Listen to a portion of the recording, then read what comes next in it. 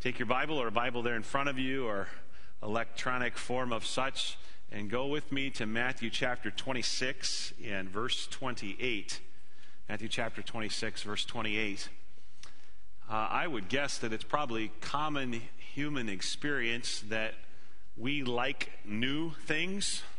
Is that not just the case with me? I would assume that that's the case with you as well. Perhaps even over the holiday season, you received gifts. And I don't know if you have thought about some of those gifts, but I'm, i would guess that probably for a number of you, uh, you received a gift that you had gotten in a different form in the past. Okay? In other words, you may be just, just as thrilled with it that, that maybe in the past you received a certain gift and you got a new one of those. All right? For instance, I'm wearing this morning for my beautiful wife a very nice new watch. Okay? That was the Christmas, one of the Christmas presents that, that she gave to me. And I'm, I'm thrilled. I think it's a very nice watch. It, it, it, keeps time. That's kind of important for a watch, right? And my wife is saying, don't forget about the time that you have to, for this service this morning and uh, be mindful of that and all that. Maybe that's why she gave me the watch. Maybe I'd been uh, preaching some especially long sermons lately, and she wanted to make sure I had a, a new watch. But uh, my other one was falling apart. Literally, the band was falling off of it. Actually, two of my watches, the band was falling off. And so I'm, I'm grateful to have something new. And maybe as you think about the Christmas presents you received, perhaps there are some things like that that you already had one of those, but it was getting old, and man, it's kind of nice to have something new. We're, we tend to like new things. That's just part of our human experience, and I think part of uh, of just the way we're designed. Well, today we're going to be talking about something that the Bible calls new as well that ought to thrill our hearts far more than, than anything new we received as gifts. And it's this idea of the new covenant. Matthew chapter 26 and verse 28, I trust is familiar to you because we read this or one of the other New Testament texts that say something very like this almost every single time we come to the Lord's table it says this it says, For this is my blood of the new covenant, which is shed for many for the remission of sins. We see it in this text in Matthew chapter 26. We see it in Luke 22, Mark, Mark or chapter 14, 1 Corinthians 11, 25. And it's stated a little bit differently in each one. For instance, in Mark 14, 24, the Bible says, This is my blood of the new covenant. Luke 22 20 says, This cup is the new covenant in my blood. And then I'm accustomed to typically quoting in our communion services from 1 Corinthians 11 25, where it says, This cup is the new covenant in my blood. And then Jesus says, Drink you all of it in remembrance of me. And so we have here this phrase, the new covenant. And it's interesting that even the very word that Jesus chose to describe this covenant, the word for new, has a unique meaning in that there are two primary Greek words for, for new in the New Testament. And the word that Jesus uses here is the word kainos, which means new in terms of quality, new in terms of it being different, new in terms of it being better than the old, and new in terms of it being superior. That, that, that the cup the, and his blood is, is a part of this new covenant, not new as in the other Greek word that could, he could have used was neos or neos, which means new in time. And so he says, I, this is the cup of my, my new covenant. My, I would guess, though, this morning that for a lot of us, we're not exactly sure what that means. I mean, that may be a nice scriptural talk, and you, of course, I think are probably generically familiar with it, but maybe for some of us here this morning, you've been listening to those words, new covenant, for decades without really fully comprehending the significance of what Jesus was teaching and what the New Testament teaches about this thing called the new covenant. And so this morning, I want to explain to you what the new covenant is so that you can, with me, be thrilled by the fact that we get to be the benefactors of this new covenant. Of course, you can't be thrilled about something that you don't understand. So we are the beneficiaries, excuse me, not benefactors, but the beneficiaries of this new covenant. But what does that mean? I hope this morning, in the next 25 minutes or so, to answer that question for you so that each time you hear me or another pastor say, This cup is the cup of the new covenant, you know what it is that's being spoken of, and it can thrill and grip your heart. Let me also say this morning that we are going to take a view from about 30,000 feet, okay? You're accustomed in my normal preaching and teaching style for us to really zoom in almost like a microscope on individual words and phrases and dig into one text of Scripture. That will not be the case this morning. We're going to view, uh, take the view from 30,000 feet. I'm going to cover a lot of Scriptures. The references will be there on the screen for you. I've also printed out the PowerPoint for those that would like to do further study because we won't have the time this morning to really zoom in. But I would encourage you to be, as the book of Acts speaks, Bereans who studied the scriptures daily to see if such things are so. I would encourage you to go back to all these different passages of scripture and look them up for yourself so you might fully understand what the Bible is teaching about this new covenant. And so notice with me this morning quickly three different things in relationship to the, the new covenant that we celebrate every time we participate in the Lord's table here at First Baptist Church. First of all, I want to make sure we understand the concept of a covenant. What exactly is a covenant? It's not a super common term for us to use in our day and age. And so, to explain that, a covenant is an agreement. It's a it's a working arrangement, so to speak. It's a contract, if you want to use that type of terminology. And in the case of biblical covenants, it's a, a working arrangement between God and his people. Tim LaHaye, I think, describes it in, in good terms and concise terms when he says the following a covenant is a contract between two or more individuals who agree to abide by the terms stated in the covenant. In a similar, similar way, God's covenant states certain promises that he will fulfill. In a covenant, God binds himself to his people to keep specific promises so that he can demonstrate what kind of God he is. Covenants usually involve intent promises, and sanctions, and frequently they are connected to Bible prophecy, end quote. So the Bible is full of examples of these types of covenants, these types of things. And so not only should we understand what is ex- how to explain a covenant, but we ought to also note uh, how covenants were exemplified in the Old Testament. In, in Genesis chapter 8, we see the Noahic covenant between Noah and God and his people right after the flood, where God promises that he will never again destroy the entire world by a flood.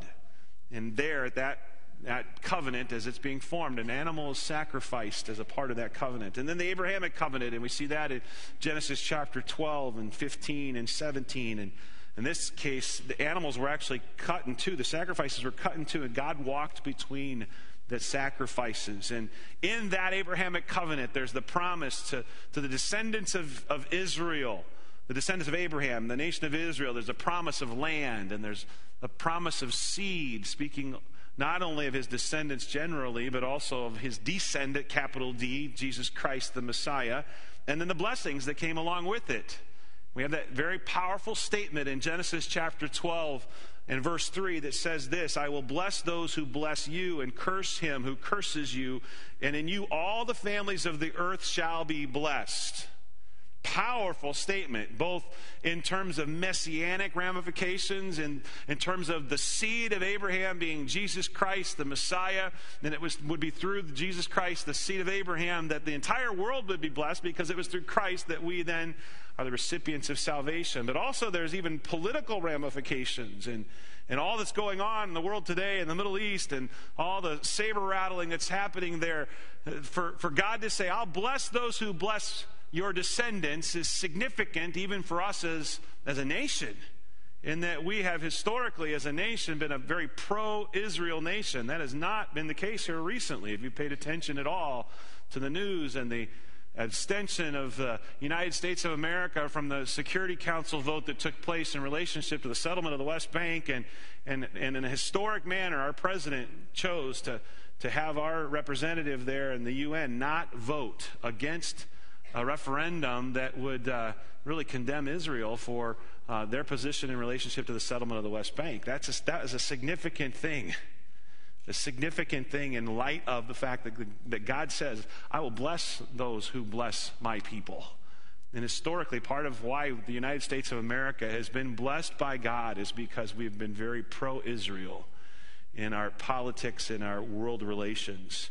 And so significant statements are made in these, in these covenants, like the Abrahamic covenant, like the Mosaic covenant in Exodus chapters 20 through 24, and really repeated in the book of Deuteronomy and you have verses like in Exodus chapter 24, uh, verse 8 and 9, where Moses sprinkles the blood of the sacrifice in the people, and he says the following He says, This is the blood of the covenant which the Lord has made with you according to all these words. And so in these three covenants, there's this, this common thread of blood sacrifice for the forgiveness of sins that fits with the, the pattern of all of Scripture that is reiterated in Hebrews 9, verse 22, where the Bible says, without the, the uh, shedding of blood, there's no remission of sins. And so blood had to be shed in order for sins to be covered and paid for and, and for there to be forgiveness. Each of these covenants included blood sacrifice, animal sacrifice, of course, picturing the ultimate sacrifice and picturing the Lamb of God who taketh away the sins of the world, Jesus Christ, and his future death on the cross for our sin. And then we have the Davidic covenant in 2 Samuel chapter 7 and that's the, the foundation of the new covenant that we'll, we'll speak about today in terms of, in terms of David and a descendant of David reigning on the, the throne of David and really on the throne of Israel and the throne of the world. And the, this promise descended on the throne of Israel for all eternity that only an eternal person, the Messiah, can fulfill. And that's part of what we get to look forward to. We'll talk about more when we explain this new covenant this morning. And so, it's explained, it's, it's exemplified, but then it's expected. And I would invite you to turn to Jeremiah chapter 31 this morning and, and notice how in Jeremiah this is promised to the, to the nation of Israel. This new covenant that now we are are participants in, and we're, we've been grafted in, as the book of Romans said, to enjoy the benefits of this new covenant that was really made with the nation of Israel. And it's promised for them here in Jeremiah chapter 31. If you'll turn there, we won't take a lot of time, but I want you to notice the, the prophecy of and the prediction of this new covenant. Jeremiah chapter 31, beginning in verse 31, where the Bible says, Behold, the days are coming says the Lord, when I will make a new covenant with the house of Israel and with the house of Judah. So the new covenant, it really is a, a, a, Jewish thing. We just to get to be the beneficiaries of it. He makes it with the nation of Israel. Verse 32 Not according to the covenant that I made with their fathers in the day that I took them by the hand to lead them out of the land of Egypt, my covenant which they broke, though I was a husband to them, says the Lord. But this is the covenant that I will make with the house of Israel after those days. It's yet future, says the Lord. I will put my law in their minds and write it on their hearts, and I will be their God, and they shall be my people. No more shall every man teach his neighbor and every man his brother, saying, Know the Lord, for they all shall know me, from the least of them to the greatest of them, says the Lord. For I will forgive their iniquity, and their sin I will remember no more. And so he's speaking futuristically here in the context of the Old Testament and says there's this new covenant that's coming, and it's, it's going to be characterized by this spiritual dynamic that is described for us in verse 33 in terms of the internalization of the Word of God and the inner ability to obey His righteous standards and thus uh, enjoy His blessings. It's even connected with the, that must be connected with the indwelling ministry of the Holy Spirit. And it has to culminate in eternity because it says they will all know me. And centered around forgiveness, as he says there at the end of verse 34 I will forgive their iniquity, and their sin I will remember no more. And so, by way of prophecy and prediction, Jeremiah tells us of, of this coming covenant. And it's a covenant that, that we get to be uh, beneficiaries of this new covenant, the concept of this covenant. And so this, this new covenant is, what, covenant is what I want to draw our attention to because it's this covenant under which we live today. And we get to enjoy. But ultimately, it'll be fulfilled in the end times. We'll talk about that as well because that's exciting to think about also. So, the co- concept of a covenant. Then, secondly, think also in terms of the distinctions of the covenant distinctions in terms of the differences between the Old Covenant versus the New Covenant. And you can think in general terms of the Old Testament versus the New Testament. By the way, the word testament is the same word, it's the word covenant. So think of the Old Testament of the Bible versus the New Testament of the Bible. It's fitting in general terms, anyway, to think in Old Covenant versus New Covenant. But there's a difference, and for this, I want to direct your attention to the book of Hebrews. If you would turn to Hebrews chapter 7, because the whole theme of the book of Hebrews is the superiority of Christ, and really, with that, then the superiority of the New Covenant compared to the Old Covenant. It's so much better. And don't turn back, is what the writer of Hebrews is saying. Don't turn back to the Judaic system of the old covenant because all that's been fulfilled beautifully and wonderfully in a very superior manner in the death of, of Jesus Christ and, and who he is as the great high priest. And so you see the writer of Hebrews making all these different distinctions. So you see in verses like Hebrews chapter 7 and verse 22, the writer of Hebrews saying about Jesus in this covenant Hebrews 7:22 by so much more Jesus has become a, a surety or a guarantee all right down payment type of thing of a better covenant. Jump ahead to Hebrews chapter 8 verses 6 through 8 where he says this Hebrews 8 6 but now he has obtained a more excellent ministry inasmuch as he is also a mediator of a better covenant which was established on better promises. For if that first covenant had been faultless, then no, then no place would have been sought for a second, because finding fault with them, he says, Behold, the days are coming, says the Lord, when I will make a new covenant with the house of Israel and with the house of Judah. And there he's going right back to Jeremiah 31, quoting that Old Testament text that we've already spoken of. And so there's this superior covenant, and that's reinforced in Hebrews 9:15 as well. So quickly I just want to just distinguish between these two covenants as we think about the old versus the new. The old covenant and the priest of the, the old covenant uh, were the descendants of, of Aaron versus the high priest of the new covenant is Jesus Christ himself. Five main distinctions here in this, this chart for you this morning. The tenure of the priest, the priest served for a lifetime versus Jesus Christ is our eternal high priest. He is forever our high priest of this covenant. The type of sacrifice, of course, was the sacrifice of, of, of, the blood of bulls and goats that were brought to the tabernacle first and eventually to the temple. And, and, and time and time again, they were sacrificed. And Hebrews 9 13 and Hebrews 10 speaks of that. But the type of sacrifice for us of the new covenant is Jesus Christ once for all. And the finality of that and, and the power of that in terms of its ability to even cleanse our very consciences and give us sanctification and make us holy the blood of Christ and the frequency of, of the sacrifice, and that it was continual over and over and over and over again. Hebrews 10 speaks of it in terms of even the daily sacrifice.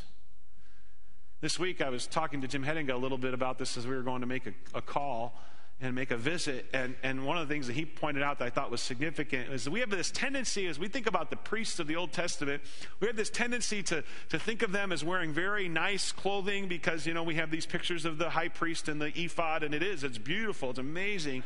But that wasn't the day in and day out appearance of a priest in the Old Testament.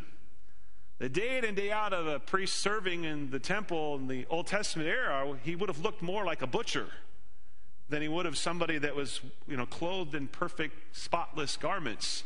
Because of the constant blood sacrifice, he probably would have been covered with a lot of that blood as a result of those sacrifices being made over and over and over and over again to simply cover the sins of the people, not to completely deal with them once and for all, but to simply cover them until you sinned again.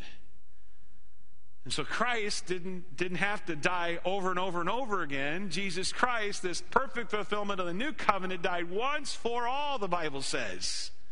I love the way it even puts it in Hebrews, and that it says that he sat down, which means he finished the job, completely accomplished what he set out to do, being seated at the right hand of the Father. And so the frequency of the sacrifice is, is significant in that Christ died once for all for which we ought to be especially thankful. And then the effect, in, in that the, the Old Testament sacrifice was actually, as Hebrews puts it, was actually just a, a reminder to us also of sin, this constant reminder of, of sin and its consequences, because you sin and somebody had to die, something had to die. So there's this reminder that's almost morbid in a sense, but also a good reminder to how serious sin is in that sense also.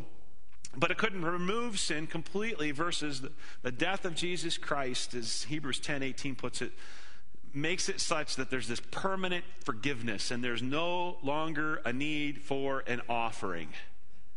Isn't that awesome? That Jesus Christ died once for all.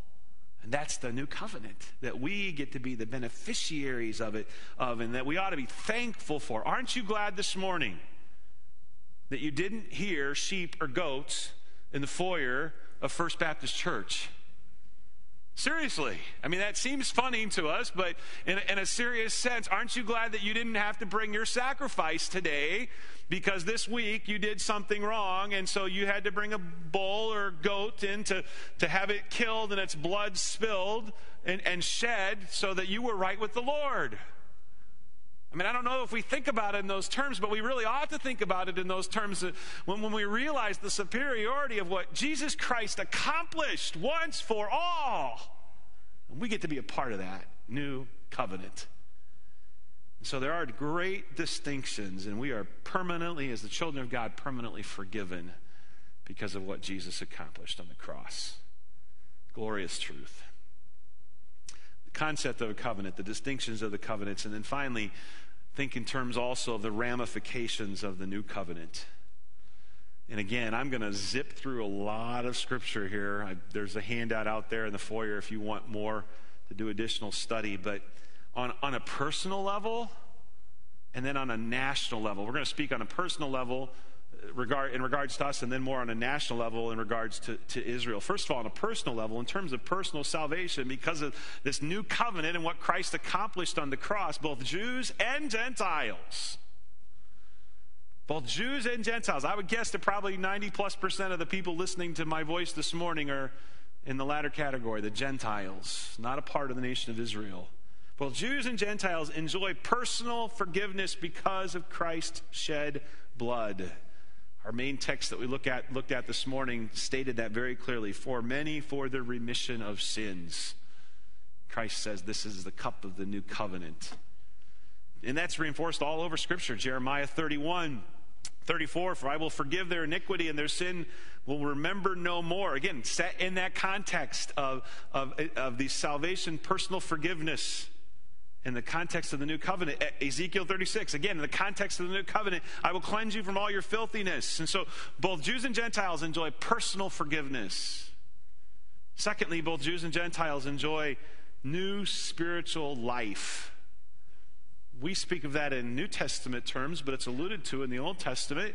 New Testament terms, we use phrases like Jesus used in John chapter 3 to be born again the Bible speaks of it in terms of regeneration, being given a new heart and a new life.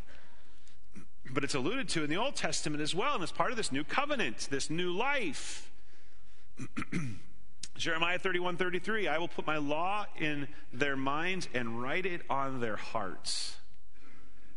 Law written on their hearts. Ezekiel 36 26, I will give you a new heart and put a new spirit within you. So we can, and, and believing Jews can have new life through this new covenant. Both can enjoy new spiritual life. Thirdly, both, both can enjoy the indwelling of the Holy Spirit. Again, we tend to think of that as a, a, a of a, only the New Testament speaks of that kind of idea. No, it was, it was prophesied of in the Old Testament. You understand that in the Old Testament, the Holy Spirit would come upon people temporarily to empower them for special acts of service, but there was no permanent indwelling of the Holy Spirit. And the Old Testament. That's a New Testament distinctive. We saw that occur in Acts chapter 2 in the beginning of the church and the ministry of the, of the Holy Spirit in that new manner in Acts chapter 2. But the Old Testament speaks of it in Exodus chapter 36 and 27. I'll put my spirit within you. Wasn't just the Holy Spirit coming upon a person temporarily to enable them temporarily for a, a great act of service. No, now we have the Holy Spirit living within us. Why?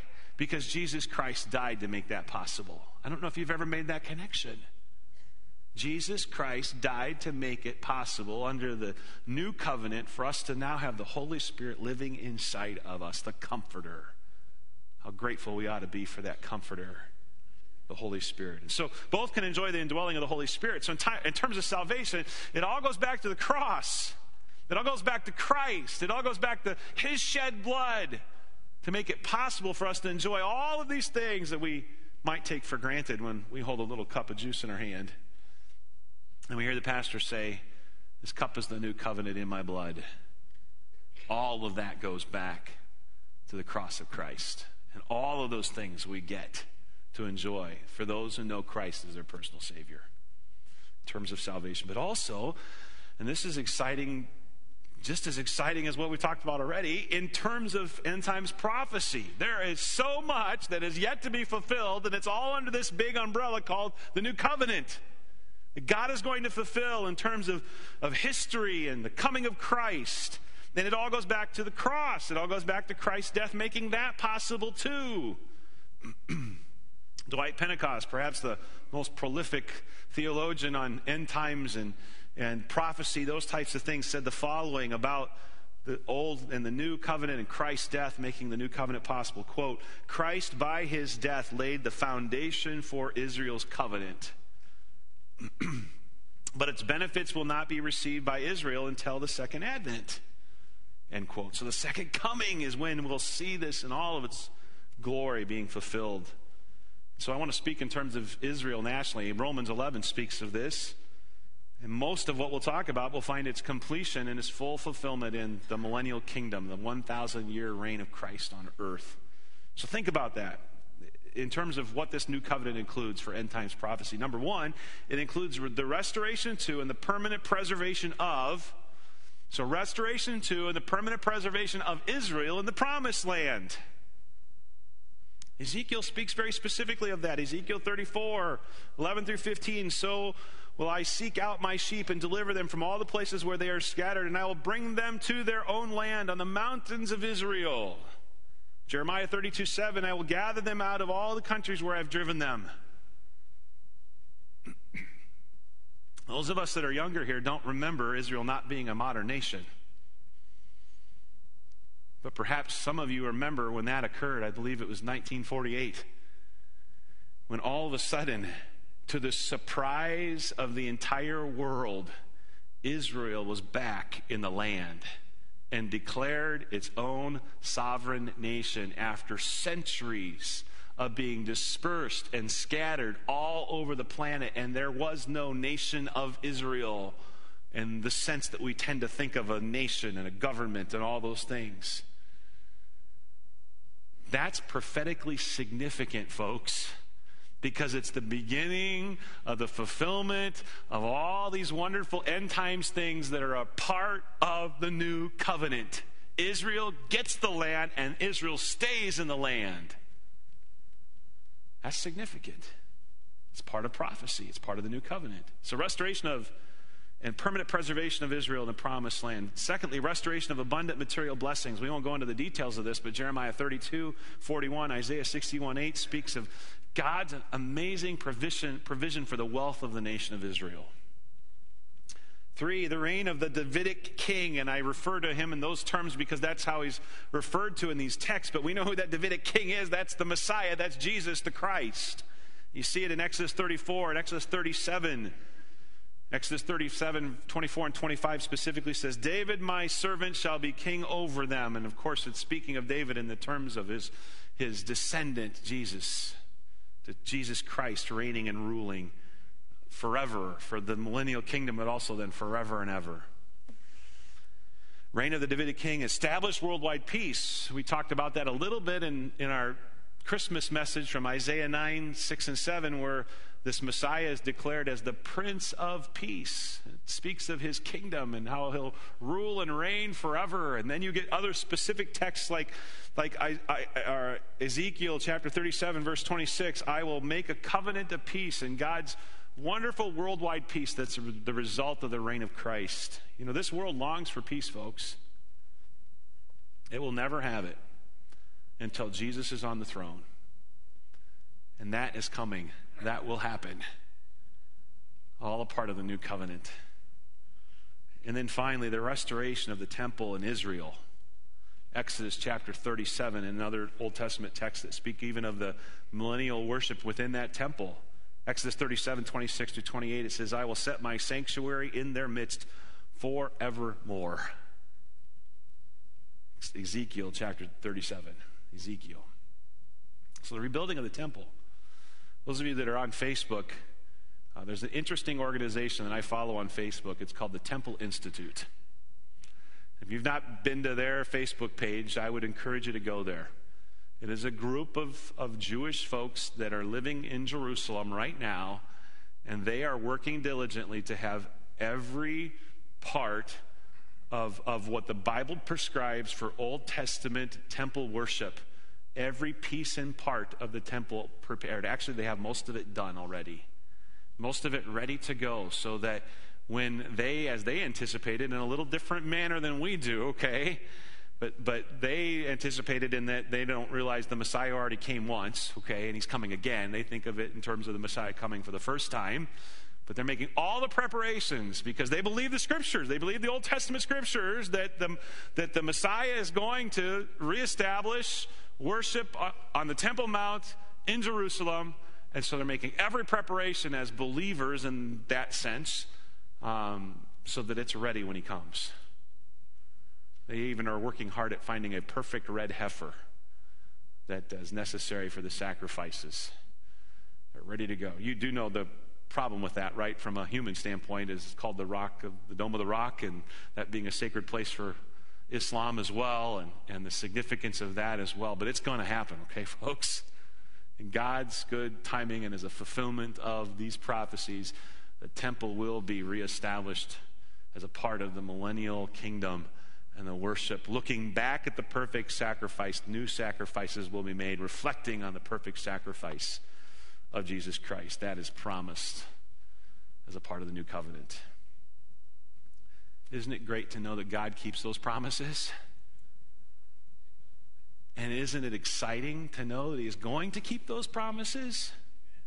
And then we get to be a part of it as people who reflect Every time you hold a little cup in your hand that it contains juice that symbolizes the blood of Christ, this cup is the, is the blood, is the covenant, the new covenant in my blood, as Jesus said.